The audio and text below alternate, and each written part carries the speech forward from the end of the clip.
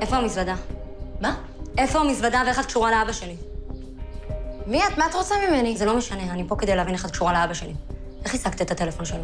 וואו, וואו, וואו, אוקיי, שנייה. את, זאת שנכנסת לבית שלי בלי רשות, אני שואלת כאן את השאלות. את הבת של ראובן? אני לא מתכוונת לענות לך על כלום לפני שאת אומרת לי איך המזוודה שלי הגיעה אלייך. מה זאת אומרת המזוודה שלך? את חושבת שאני מטומטמת? היי, תירגעי, אני לא נגדך ואני לא נגד אבא שלך, הכל טוב. ממש לא. מישהו הרג אותו ואני רוצה לדעת מי ולמה. הרגו את ראובן פרוס? אני מצטערת, אני לא ידעתי את זה. תחסכי ממני, טוב? נראה שבאמת אכפת לך. תגידי, מה את רוצה ממני? מה את רוצה ממני? את לא מכירה אותי בכלל. את פורצת אליי הביתה ואת מנחשת כל מיני דברים, מה אני חושבת, מה אני מרגישה.